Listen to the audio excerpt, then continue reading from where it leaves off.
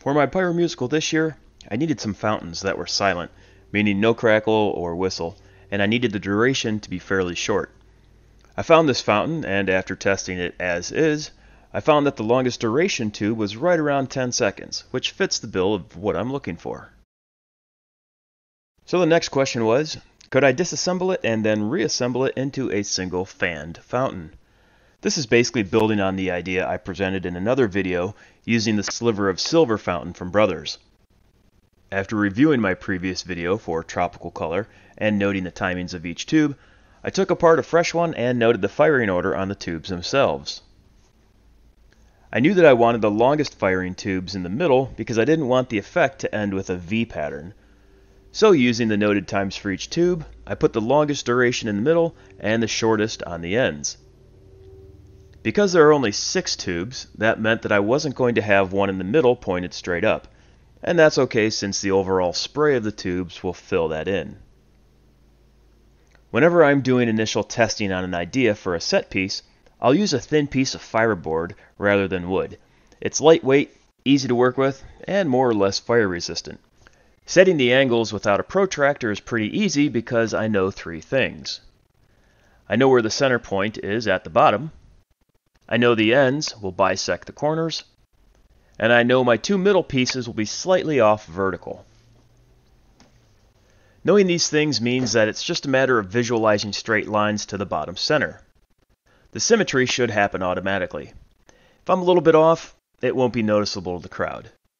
There's another way to do the simple geometry by dividing the board into fifths. Maybe I'll add that method as a little bonus to the end of this video.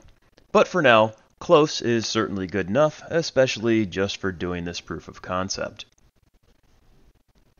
Once I had my tube's position approximated, I ran a bead of hot glue down each tube. Hot glue dries really quick, so I find it great for quickly setting things.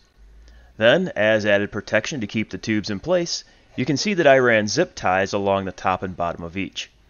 At this point, I had cut off all the remaining visco fuse.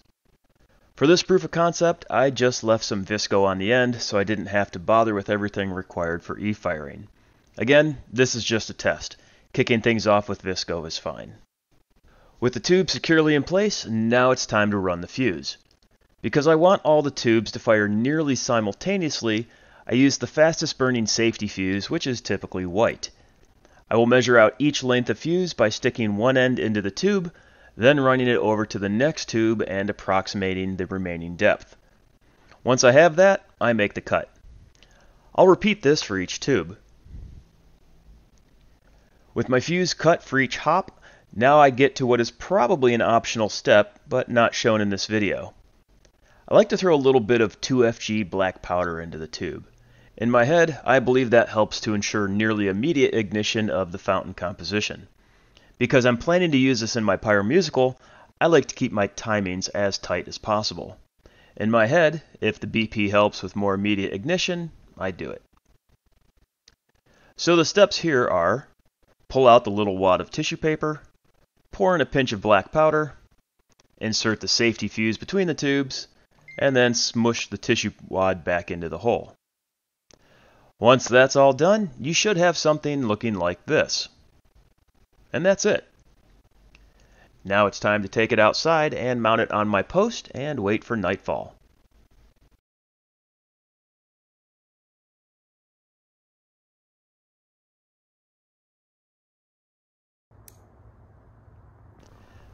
Now the time has come. Let's see what we get.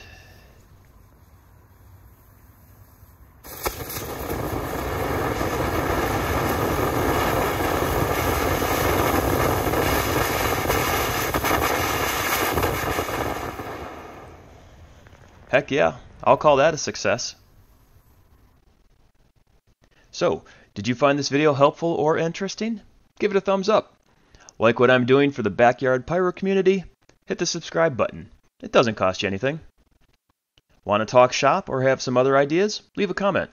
My channel isn't big enough yet to where I don't respond or at least acknowledge most comments on a video, and I'll usually reply within 18 hours.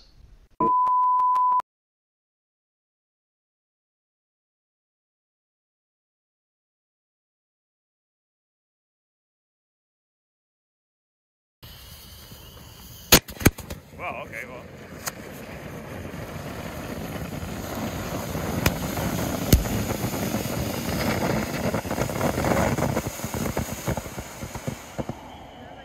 Okay. You're getting your merit badge taken away. That's all there is to it. Alright, I'll make this quick. To easily set nearly perfect angles, in this case we divide the width into five equal sections, making a mark at the top of each sectional divide.